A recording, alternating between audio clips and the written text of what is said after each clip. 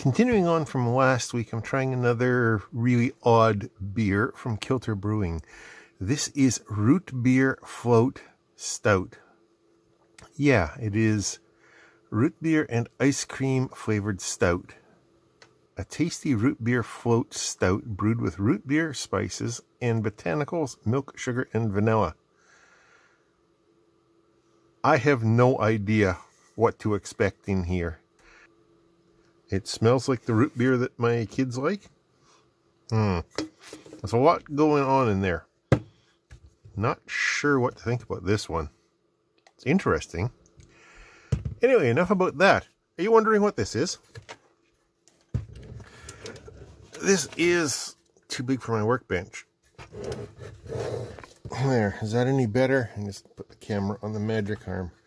So this is a bespoke handmade, one of a kind, well, not exactly one of a kind, one of probably six or seven that were made, uh, switching box for paging transmitters.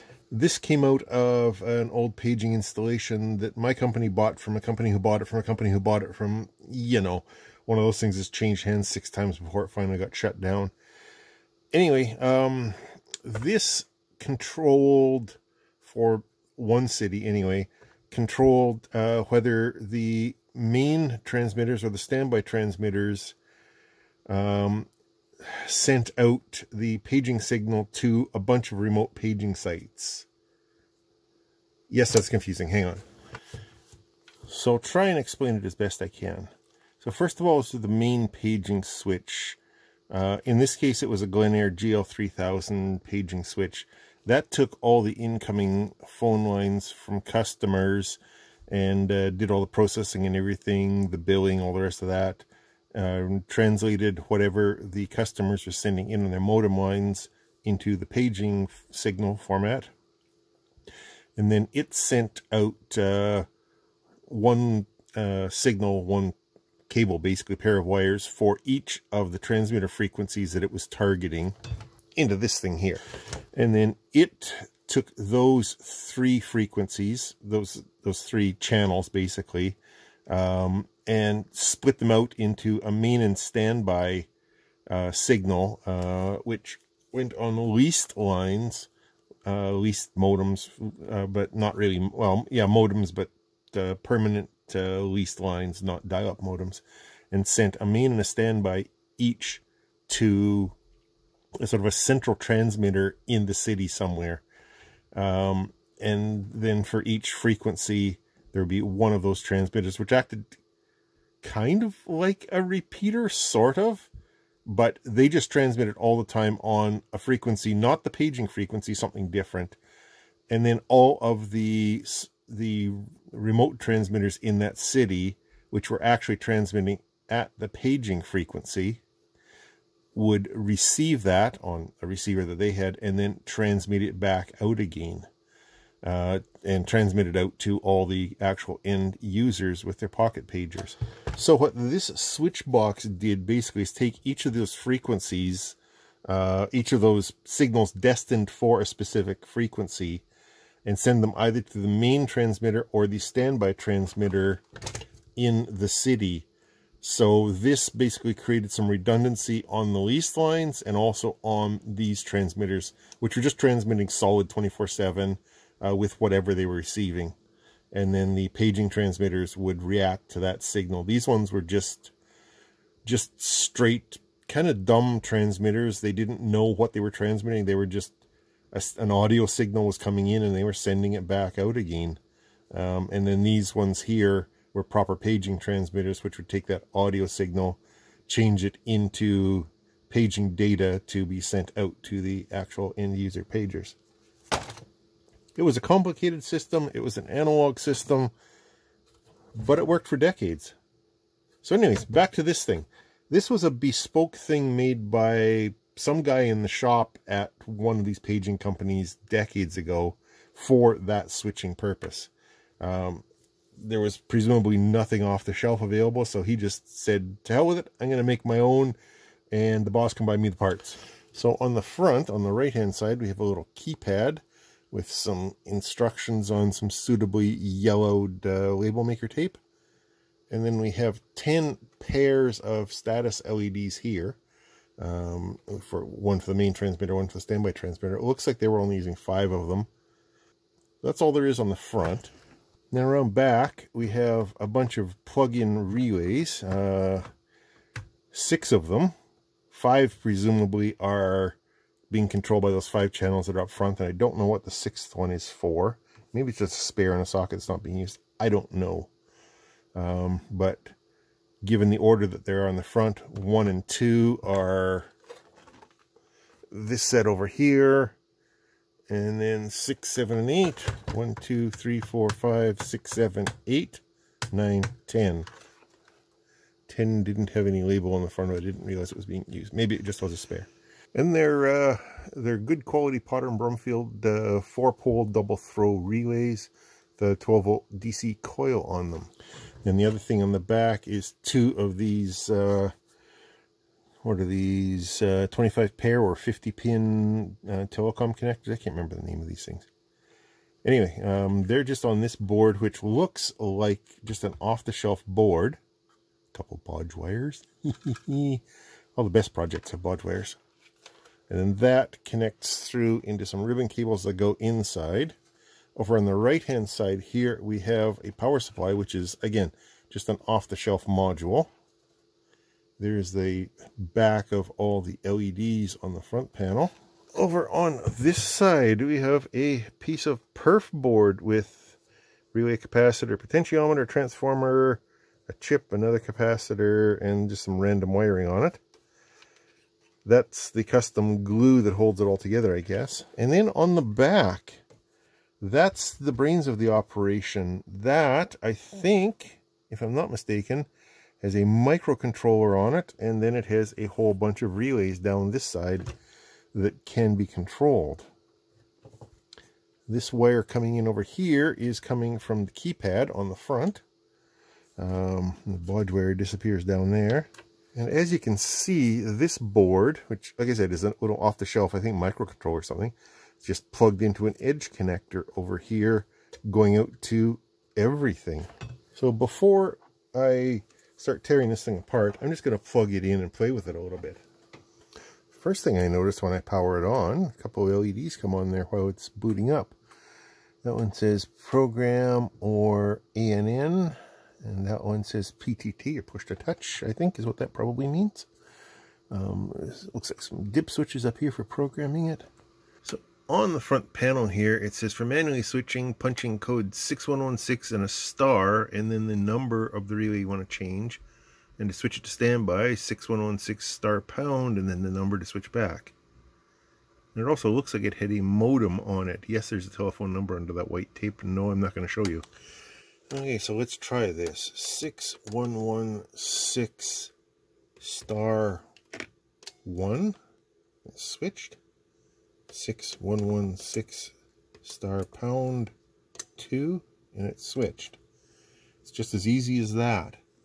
And I'm assuming that if you dialed into that remote access, then you could use DTMF on your phone to duplicate this. And this actually might be a DTMF keypad. Matter of fact, it probably is just to simplify what's going on inside the thing. So that was interesting for what it was. Um, I mean, in operation, it's a very simple device. The other thing I noticed is that when I'm controlling the relays, um, you can hear the relays clicking, but this LED down here also comes on when this relay on, or when the LED on the front is switched, when the circuit is switched to standby. And then when it's switched back to main again, six, one, six star pound one. That LED goes off, and this one over here goes back up to the main. Uh, and I assume the relay back there relaxes. Being, remember, those are double throw relays on the back, so that's what's going on with that. Okay, interesting. So that front panel just folds flat. That is actually kind of nice. It looks like a bit of a rat's nest, but whoever built this was fairly consistent. He heat shrinked all of the uh, of one side and the common side is left bare, but that doesn't matter because it's common ground probably. All going into ribbon cable and going back to there. Very nice. And yeah, the keypad, It's actually got some electrical tape wrapped around it. So yeah, this back of this keypad uh, is a 358D op amp. Um, not quite sure what that guy is. There's a crystal, but more importantly, there is a TCM 5089 there. And yeah, the TCM 5089 is in fact a tone encoder. takes row and column inputs from the keyboard. Uh, there's the oscillator and a tone output. Can either do single tone outputs or DTMF.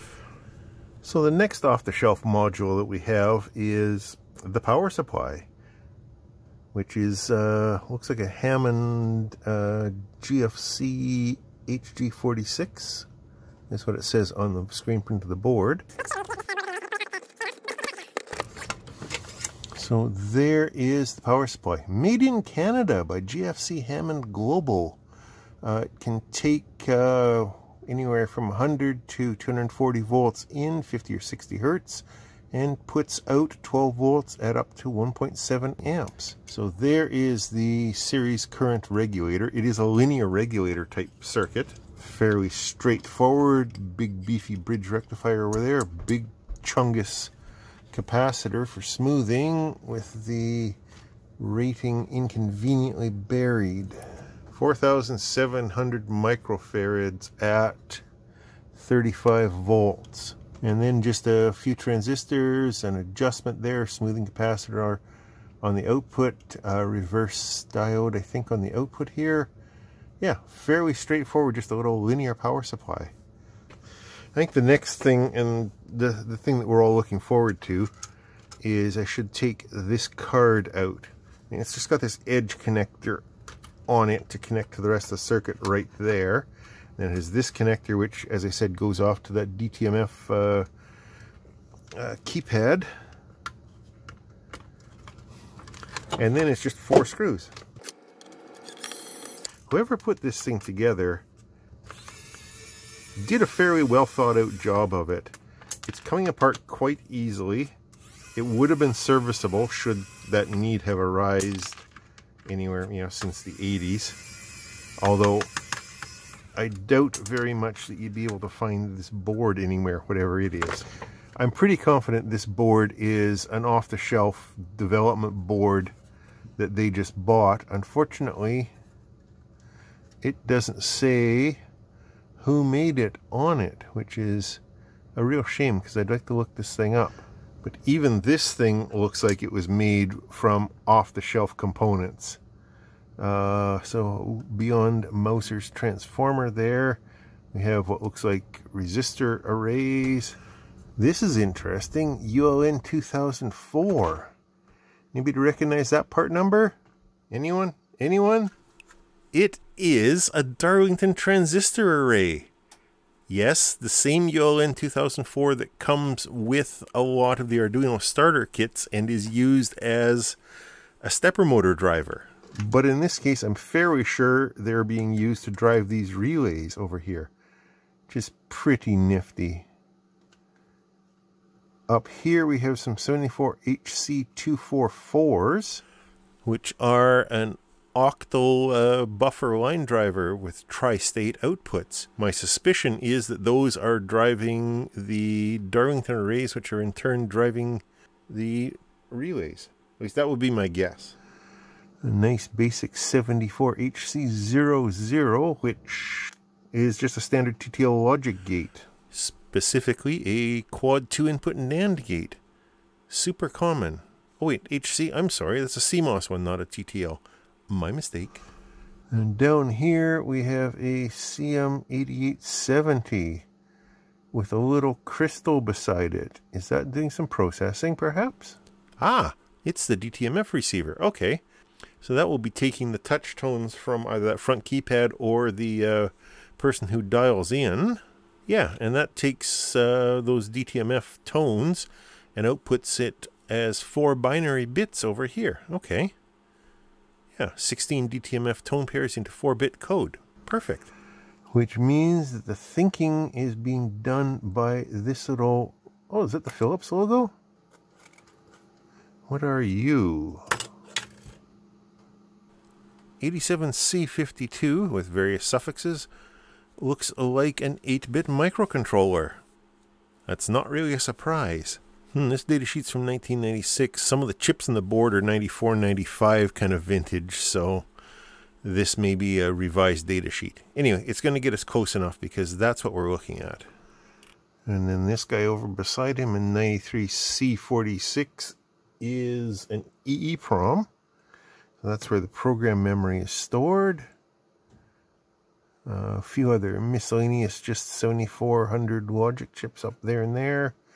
More resistor arrays. Neat little board. I wish I could figure out more about uh, who originally made this thing, but I don't see anything on the solder mask anywhere. Yeah, I spent a bit more time Googling and I cannot find any information on this board. There's a few other things on here that give me some clues. There's a relay called PTT, which is typically push to talk. Um, there's an LED called PTT. Can do either balanced or unbalanced line, I guess. Um, like audio um, output. So I'm thinking that this may have been designed for amateur radio for ham use to uh, to control repeaters and whatnot because ham radio guys in their radios do have or some of them anyways do have uh, DTMF keypads on their radios. So and push to talk would make sense because you know push to talk microphone thing. I don't know that's my best guess. Are there any old hams in the audience who would have been active back in 97 who might remember a board like this, I would be interested to know more about it. Anyway, let's just look at his wiring on the back panel here. So there is the LEDs going to the front and they all come off one contact of each of these four pin relays or four pole relays. And then the other three um, take what do we got here? All three pins of three sets of relay contacts. So normally open, normally closed, and common. And sends them all out to those connectors on the back here. So that will be switching, you know, realistically whatever's coming in, but in practice, the signal coming from the main paging switch and sending it out to the various places there. Um, and then all that wiring was just done external to common it all up and everything. As you would expect, each one of these relays has a reverse uh, protection diode on it. And it also has a resistor in parallel. That's interesting. Oh that resistor comes from the common side of this. Um, can we see that there? Yeah, so there is a common ground wire coming in from the power supply, actually. Um, and daisy chaining to all these resistors. You can see that down there. And so that's the negative side from the power supply. And that sends that through this resistor to either the normally open or the normally closed of those relays. Hang on, are those wired?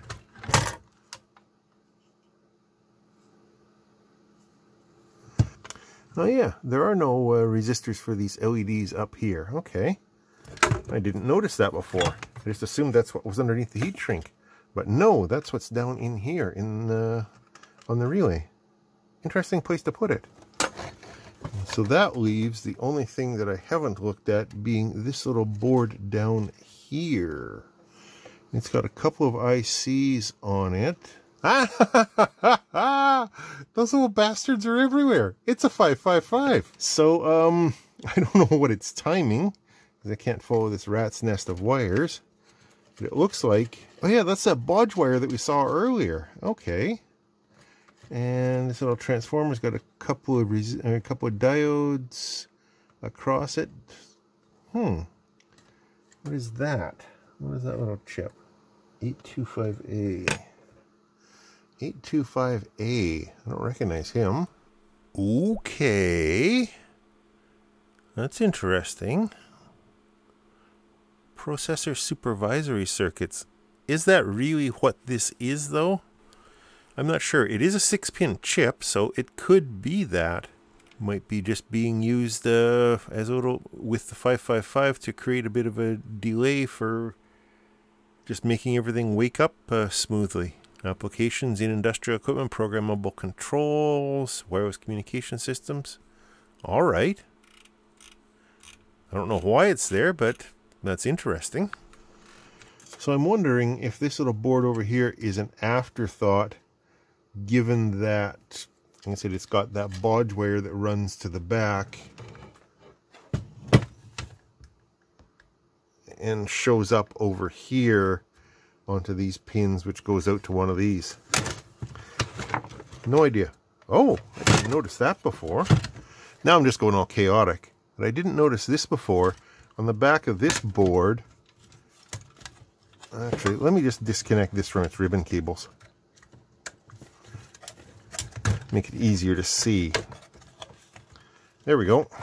So this board, what is the connections that go out to the outside world, every single one of them has an MOV across it. MOVs being a over voltage protection device, right? Well, there's some salvage value in this thing after all, I guess, between the relays and that and the power supply. Maybe? I don't know. I don't have any use for it intact. Um, and obviously, it's so far out of use that there's nobody at work that even remembers this thing, let alone uh, who built it or why. Well, we know why, because it says so, but you know what I mean. Anyway, that was interesting. At least I found it interesting. It's kind of cool to see how these sort of bespoke uh, one-offs, or in this case four or five offs, uh, happened based on completely standard modules, which is exactly what we do today, isn't it? Is uh, especially in the hobby world, uh, is just glue together standard modules and uh, make them do our bidding for custom applications. I hope you found that interesting. I know I certainly did. Uh, questions, comments, and especially if you have any information on this thing, please jump into the comments down below. I'd love to hear from you. Thanks for watching. I will talk to you later. I'm still not sure about this beer. It's interesting, but I'm not sure if it's going to become a regular occurrence.